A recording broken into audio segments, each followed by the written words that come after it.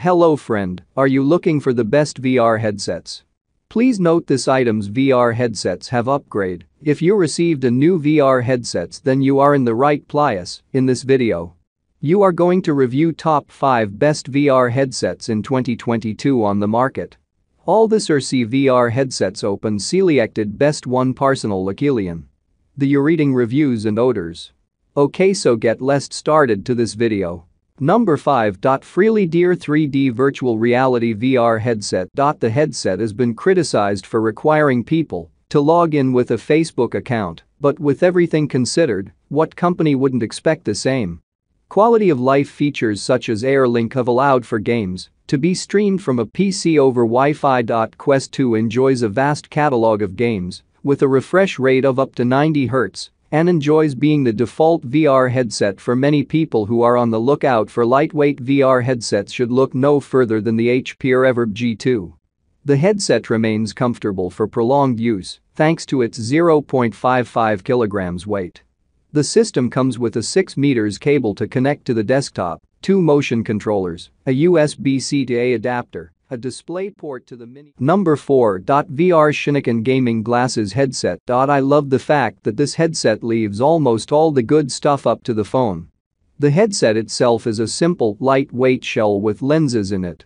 That means that you can keep the headset when you upgrade your phone.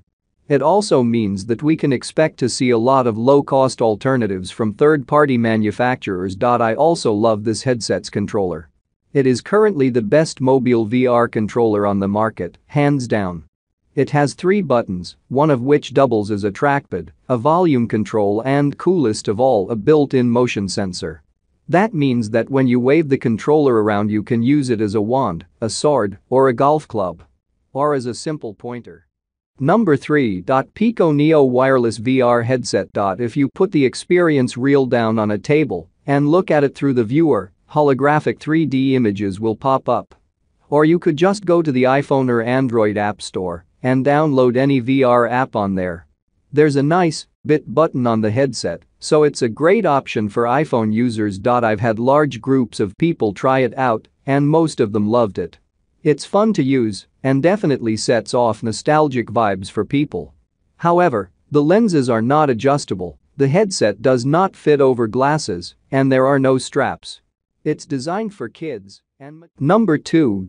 Royole Moon All-in-One 3D VR Headset. I take mine with me to conferences and other kinds of get-togethers and use them to quickly demonstrate what virtual reality is all about. The easy access to the screen means that you don't need a button or controller, just tap the screen instead. You also don't have to take the phone out of the viewer to switch apps or queue up new videos.